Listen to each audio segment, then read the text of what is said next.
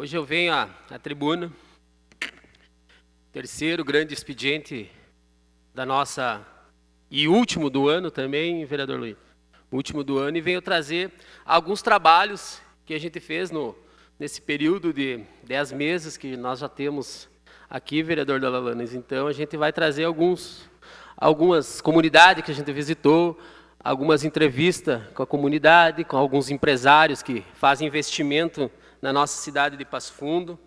Então, veio explanar nesses dez meses que, que nós temos aqui, o nosso trabalho do, do nosso gabinete, dos meus assessores. Então, a gente veio trazer alguma, alguns fatos no, perante desses dez meses que a gente teve aqui. Então, vamos trazer alguma coisa que foi feita para o nosso mandato, alguma coisa que está sendo pronta por, a, por executivo, por o senhor prefeito e secretariados. E então vamos começar aí por o, por o bairro Leonardo Willis, Miquéias.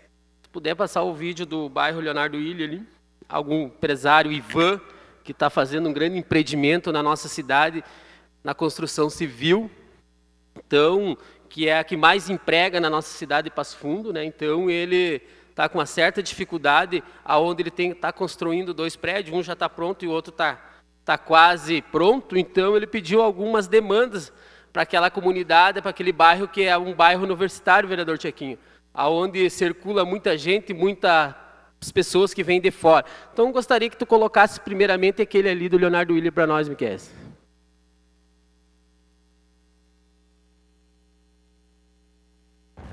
Passo Fundo ocupa a trigésima posição em um ranking das 100 melhores cidades brasileiras para se fazer negócio. Entre os municípios gaúchos, estamos em quarto lugar, atrás apenas de Porto Alegre, Santa Cruz do Sul e Bento Gonçalves. A pesquisa foi divulgada pela revista Exame no início de outubro e leva em conta fatores como saúde, educação e desenvolvimento econômico. A construção civil é um dos setores que contribuem para esse crescimento. Pensando nisso, o vereador Rudimar dos Santos está pleiteando junto ao Poder Executivo demandas apresentadas por empresários da área. No loteamento Leonardo Ilha, ele conversou com Ivan Máximo Concolato, que nos últimos anos está investindo pesado no bairro. Hoje o nosso público, nossos clientes são 80% da microrregião. Então a gente atrai bastante dinheiro para Passo Fundo. Consequentemente, a gente gera mais emprego, a gente gera mais impostos, né? O que, que a gente vem a gente vem sofrendo nesses últimos anos, né? Nós temos nós temos a, a promessa já de melhorias do nosso bairro aqui e até hoje foram feitos alguns reparos somente. Poderia nos estimar um valor do que você arrecada em impostos para o município? Olha, aproximadamente consigo. A gente tem entre os dois prédios, a finalização do Max e do Máximos, um VGV de mais de 20 milhões de venda. Então, se 70% da microrregião, nós buscamos aí 14 milhões de fora, puxando para o Passo Fundo, né? Mas de impostos, contando com um exemplo ITBI entre os dois prédios, vai chegar mais de 250 mil reais só de, só de ITBI. Fora a questão de IPTU, né, anual, que vai passar de 50 mil reais ano para o município. A gente fica feliz com isso, porque a gente torce que Passo Fundo cresça. Passo Fundo tem, uma, tem um potencial muito grande de crescer com a nossa microrregião. Então eu gostaria que vocês olhassem mais para o nosso bairro aqui. Entre as ruas Júlio Long, João Leque e Fernando Estivalete, a 150 metros da Universidade de Passo Fundo, a empresa construiu dois grandes edifícios. O primeiro deles tem cerca de 60 moradores. O outro, com 44 apartamentos, será entregue em um ano. Acontece que, após as obras, aumentou muito o número de pessoas e veículos circulando no local. Diante disso, o empresário está cobrando melhorias nas vias, como a canalização e o asfalto. Quando chove, nem caminhões a gente consegue passar, vira, vira um açude, né? E nós temos um monte de buracos aí também. Buracos que só reclama.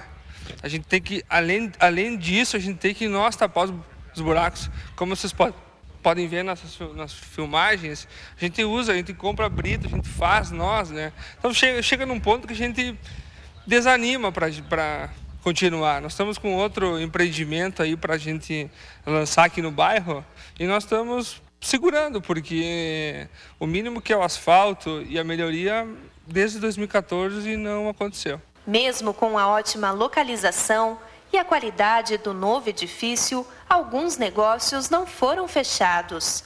A culpa, segundo Ivan, é dos problemas de infraestrutura que afastaram os investidores. Eu vou dar um exemplo da nossa sala comercial, do nosso novo prédio.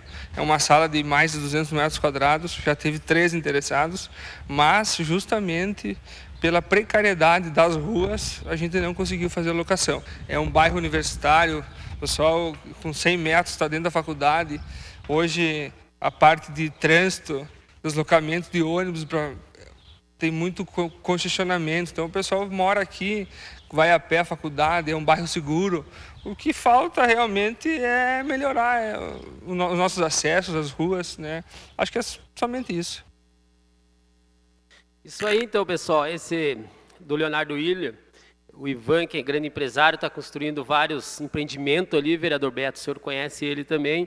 Mas nós tivemos, falando com o senhor prefeito, o senhor prefeito autorizou a fazer a obra lá com o secretário Bordim, vai começar agora, dia 1 alguma parte daquelas ruas ali não vão ser asfaltadas nesse momento, mas ele vai fazer um trabalho de tapa-buraco, que foi acordado na reunião que nós tivemos com o prefeito e com o secretário e com o empresário, que está trazendo vários empregos, vai fazer mais outro prédio naquela região ali, então que, que resta para nós que nessa nossa crise que nós estamos passando no Brasil, um investimento que está fazendo na nossa cidade, é, é imposto, é trabalho, ele, ele, emprega mais de 60 funcionários, né? já no, no primeiro prédio era mais de 120, então hoje tem 60, e no próximo empreendimento que ele vai fazer vai ter mais 120 empregos que está vindo ao Passo Fundo, mais pessoas trabalhando que hoje o nosso forte na nossa cidade é a, é a construção civil, né? E a nossa cidade é a logística, então o que mais emprega é a construção civil. Mas, bom, gente, esse aí era um dos, dos assuntos. Agora vamos voltar para o bairro Viturizer, aonde a gente fez uma indicação ao Executivo Municipal sobre um estudo da retirada do trilho do perímetro urbano, vereador Ronaldo Rosa. Então, pessoal que, que tem tem acompanhado o nosso trabalho estão bem, contente né, do, do, dessa indicação que a gente fez, do estudo que a prefeitura tem que fazer nas regiões que abanjam beira trilho. Então, tem um videozinho que a gente gravou ali, por gentileza, Miqueias, coloca para nós, hein?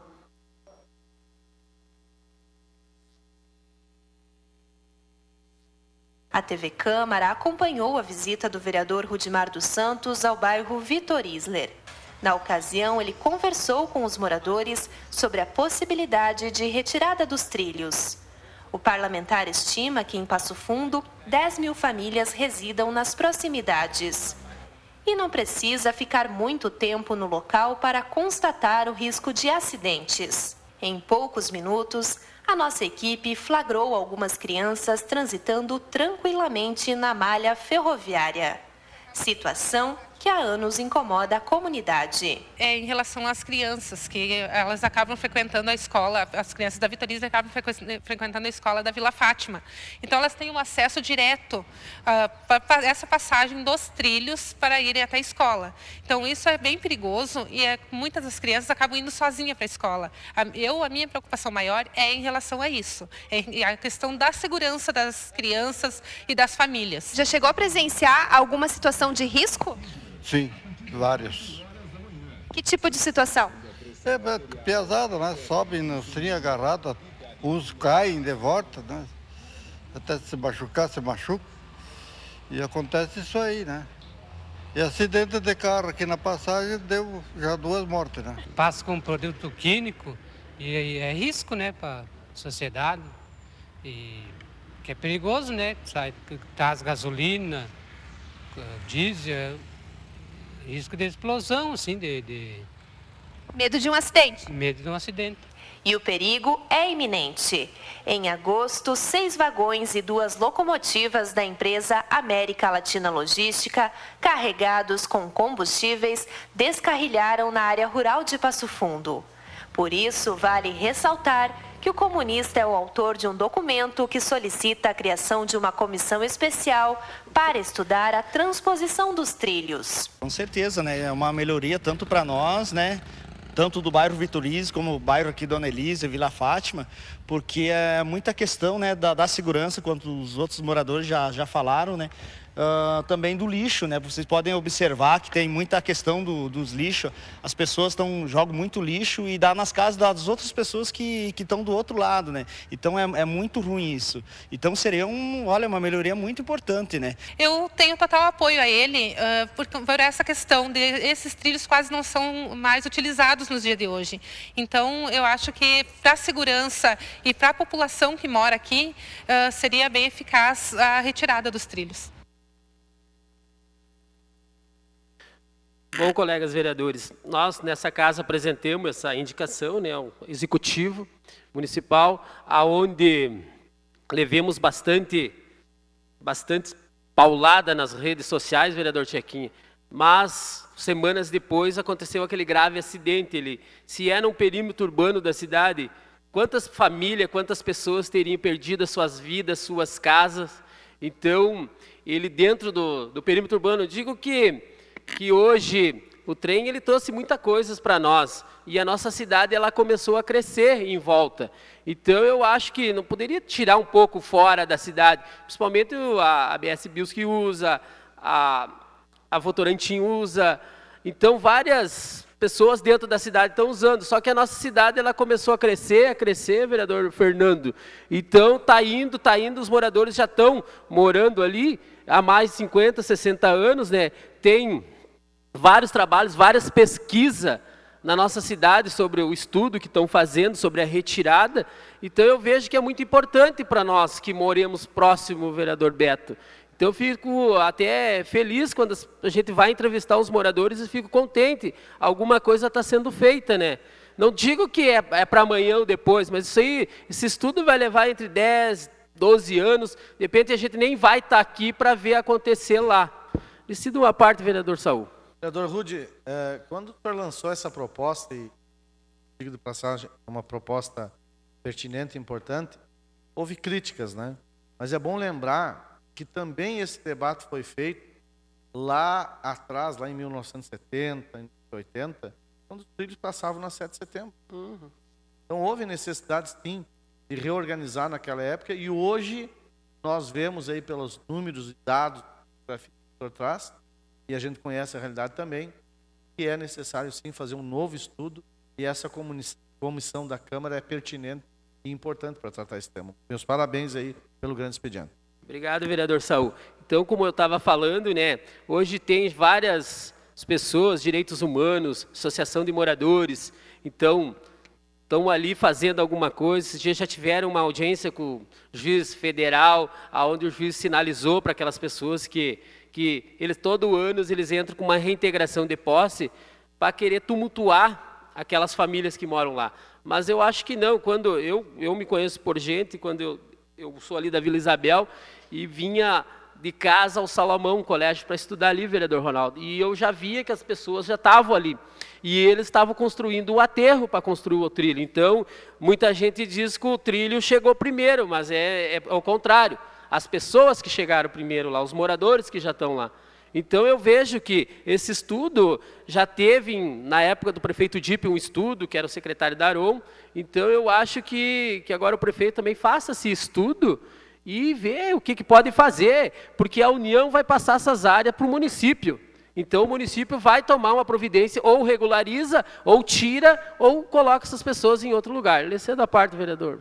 Quero parabenizar pelo assunto, vereador Rude. Esse assunto aí não é de hoje que tem essa polêmica, né? Parabéns a todos que estão lutando por isso aí, porque já lá desde o governo Júlio Teixeira, no governo Oswaldo Gomes, depois os dois governos do prefeito Ayrton Dipp, a gente achou muito estranho ah, que as regularizações, eu principalmente, pedia ah, até um projeto, depois Vossa Excelência fez, só apenas um nome diferente, que era regularizações das moradias em desacordo na cidade de Passo Fundo.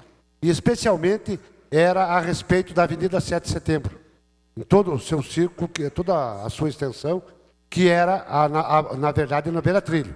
Né? E, e a gente estranhava muito, porque muitas, muitas pessoas recebiam a, a, a documentação e foi regularizada, né, principalmente no centro da cidade. E por que, que as outras pessoas não recebiam isso? Por que, que não havia regularização para as outras pessoas que moravam nas margens da Avenida 7 de Setembro? Né? Que, por que demora que para um sai, ou tipo assim, para os filhos do rei, mais fácil, né? para os outros não. Isso aí é uma coisa que tem que terminar, tem que ser. Toda moradia em desacordo no município de Passo Fundo que for regularizada, inclusive daquele seu projeto, ah, é, é benéfico para a cidade de Passo Fundo. É renda que entra para o município. Né? É din-din para os cofres públicos, para usar na saúde na educação. E eu não entendo por que, que tem essa morosidade e tudo a respeito disso. Obrigado pelo passo e parabéns pelo grande expediente. Obrigado, vereador Dalalana.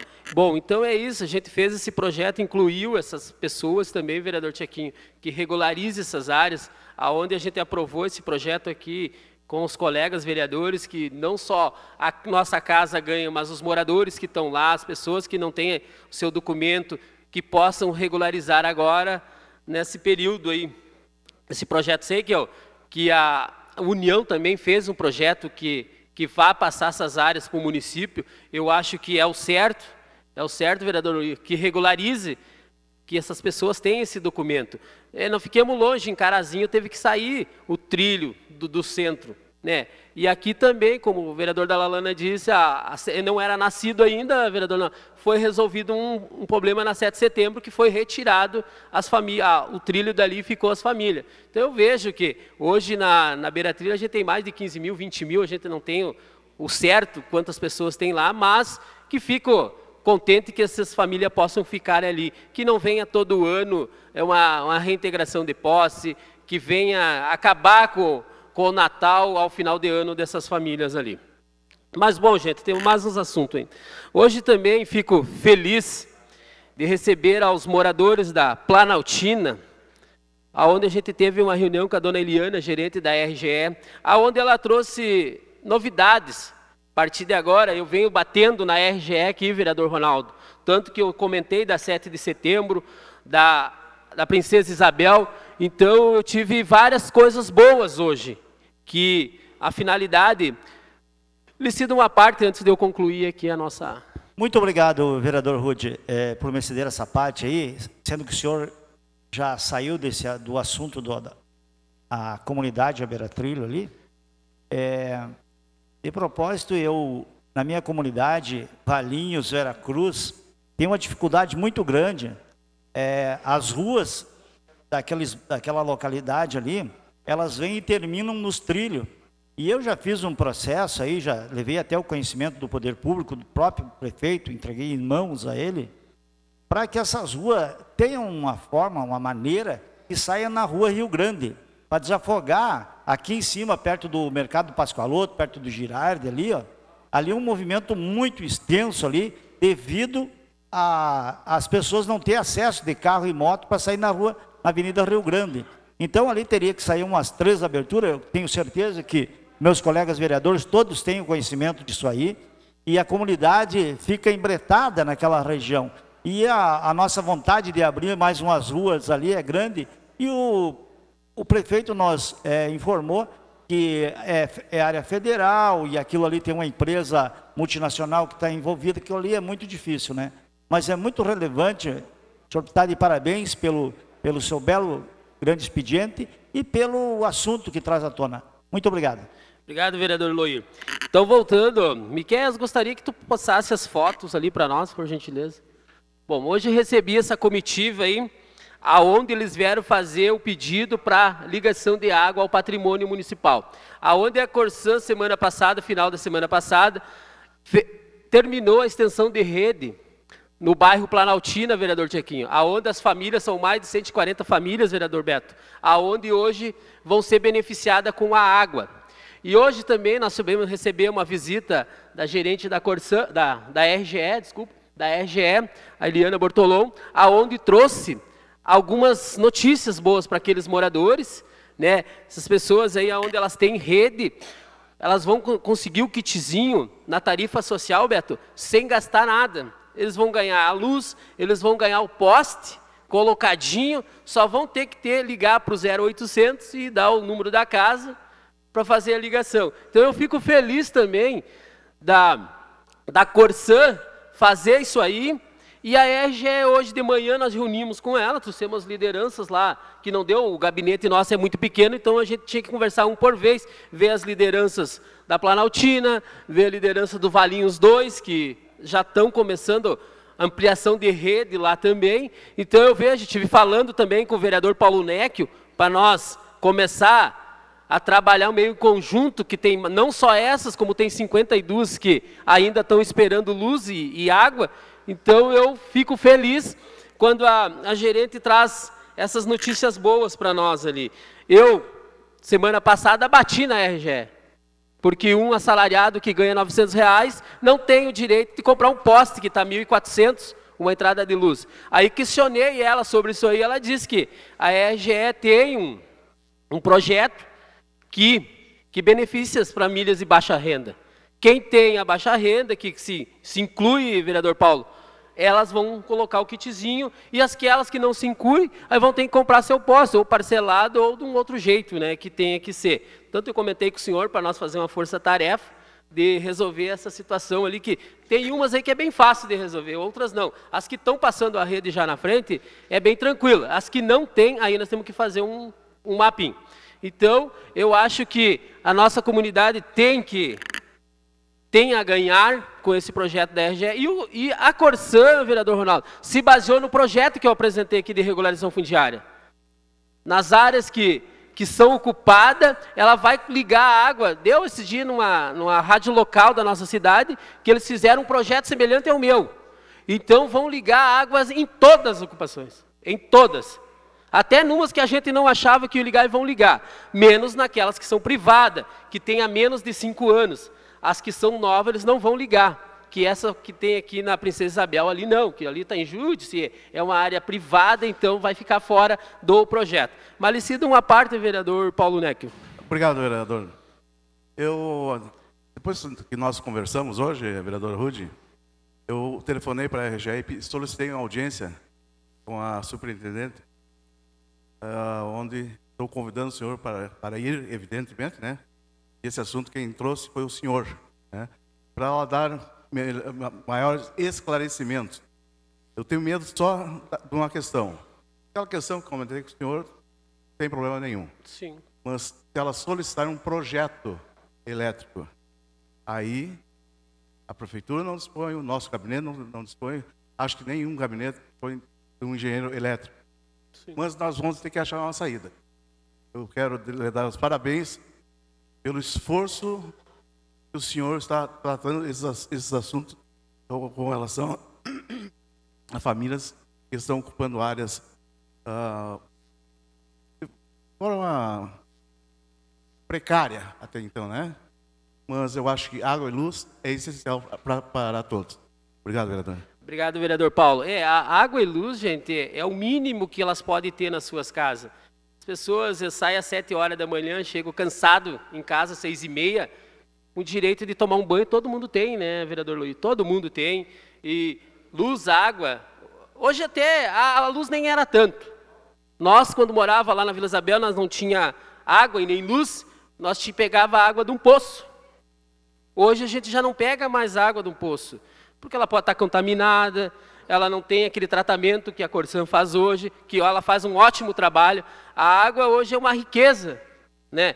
Então eu vejo assim que que os moradores aonde a gente são todos os trabalhadores. Todos os trabalhadores, tem pessoas que pagam o seu aluguelzinho, ocupam lá uma área, mas a finalidade não é ficar de graça, é pagar para o município, pagar para alguém lá. Então eu acho que é mais do que justo. Nós temos hoje em 2017 isso aí aconteceu lá, que a gente tomava água de poço em 70, 60, 69, vereador Leandro. Então, eu acho que hoje nós temos que avançar. Nosso prefeito está fazendo um ótimo trabalho, está avançando. Não vamos ficar para trás, vamos avançar com, a, com as famílias, com os moradores. E também a reivindicação lá do Valinhos 2, vereador Lourdes que é daquela região, que, ela, que os moradores já estão mais de três anos sem água lá. Eu fiquei assim, quando eles me contaram a história que chega às 10 horas da manhã, gente, eles ficam sem água. Sem água e volta às 3 horas da manhã. Porque o cano é muito pequenininho para abastecer. Lá embaixo, 10 horas não tem água. E daí uma criança tem que encher os, as, os baldes, as bacias, que nem dizia antigamente, para conservar água até as 3 da manhã. Eu fui lá, a menininha disse, bom, tio, consegue água para nós, eu, eu não consigo tomar água de noite, não consigo, a mamãe só me dá mamadeira. E eu disse, não, tio vai fazer um esforço. E graças a Deus, gente, graças a Deus, a Corsan teve lá semana passada, já acho que estão trabalhando lá, já estão trabalhando lá, ampliando a rede de água, vereador. Botar uma caixa d'água. Então eu fico feliz, que mais de duzentas e poucas famílias estão lá, vão ter a sua água. Hoje nós falamos sobre esse projeto também da luz. Com certeza eles vão fazer uns estudos lá que a luz ela é mais complicada do que a água. Então eu fico feliz em ver todas essas famílias recebendo, porque no país que nós temos é tudo burocracia. Para tu conseguir ligar uma água, para tu conseguir ligar uma luz, eles te pedem até o sobrenome da tua bisavó. Eu disse, tem que, temos que acabar com isso aí. Temos que acabar no nosso século que nós estamos vivendo hoje, é totalmente diferente e pode acontecer as coisas rápidas. Não deixar as pessoas na fila, né? Então, acho que vai acontecer. Então, a Corsã está de parabéns. A RGE está de parabéns por esse projeto que ela tem ali. Que hoje, governo federal, é luz para todos. Né? É luz para todos. Então, eu fico muito feliz de passar aqui algumas demandas que nós, do nosso gabinete, em conjunto com nossos colegas vereadores, batalhando para essas famílias ter o direito que o direito o que, que é? É ter uma luz, uma água e uma moradia. Então eu fico muito feliz. Hoje, se eu sair em 2020 aqui, a minha parte eu já contribuí com a cidade de Passo Fundo. Então eu fico muito feliz. Né? E se o povo achar que eu tenho que ficar aqui e lutar mais, eles vão me dar mais uma oportunidade. Né? Miquel, vamos para outra parte lá. Nós também, as fotinhas, só as fotinhas que ela pode deixar para nós. Né? Nós também recebemos todos os moradores da Planaltina, do Valinhos 2, da, da Cruzeiro, da, da Parobé, o Beco da Parobé, e vários pedidos e águas que nós fizemos. O gabinete, desde quarta-feira da semana passada, Eloy, nossos gabinetes são pequenos. Aí a gente tem que atender um pouco ali fora. Ó. Esse povo nós atendemos um pouco ali fora hoje. Ó. Então, nós temos marcando de ir nas comunidades, vereador Pedro, para fazer os cadastramentos. Porque agora eles querem ligar, querem ter seu comprovante no seu nome, então eles vão ter. Então, a partir de agora, hoje estava cheio, agora de tarde também estava cheio ali, e amanhã vai vir mais uma remessa, que é o pessoal do Valinhos 2. Né? Então, fico, fico feliz de estar recebendo os moradores, venho ali e saio feliz com o papelzinho na mão, com o protocolo. Mas agora eu vou ter um comprovante de água ou de luz no meu nome. E é mais do que justo que hoje, para tu ligar e abrir uma conta no banco, vereador Beto, tu tem que ter um comprovante aonde tu mora, que tu existe naquela rua, naquele endereço. Então, é mais do que justo ter isso aí. Senão tu não existe. Né? Então tu não, não existe. Bom também, visitamos várias pessoas, várias comunidades, Fizemos, agora mês que vem vai sair os, os documentos na, da Vila Isabel, dos terrenos, junto com a Secretaria de Habitação, mais de 380 famílias vão receber sua concessão de posse daqueles terrenos. Em breve, mais canalização que a gente fez também, vereador, várias canalização nos bairros e vilas de Passo Fundo aí também, né? O cartão reforma, aonde 200 famílias do bairro são Luís Gonzaga e Vila Isabel vão receber. Para aquela nossa região lá vai ser 600 cartão reforma. Aí as pessoas vão ser chamadas, vão ter que estar tá no, no crediograma da, da Caixa Federal, não pode estar tá no SPC, né, não pode estar tá na Serasa, para receber o cartão de todos. Que esse cartão aí é uma reforma. Tu vai querer fazer um banheiro, tu vai querer fazer um, uma reforminha na tua casa. É, é 5 mil reais que o governo federal está disponibilizando para essas pessoas de baixa renda. Então eu vejo que, que só tem a ganhar nossa, nossa cidade, nossa Passo Fundo e, e essas comunidades que eu citei. Fico muito feliz de hoje ser um dos nossos grandes expedientes que vamos fazer, o terceiro nosso que estamos fazendo. Então, venho trazer isso aí. E o nosso ano está encerrando, hoje é o último grande expediente que eu estou fazendo, só voltamos o ano que vem fazer, né? Porque tem os períodos aí que tem os outros colegas que vão fazer. Mas, fico aqui um forte abraço para quem nos escutou, que, que viu as demandas que nosso gabinete está fazendo, senhor presidente. E fica o meu forte abraço e uma boa sessão para nós. Obrigado a todos.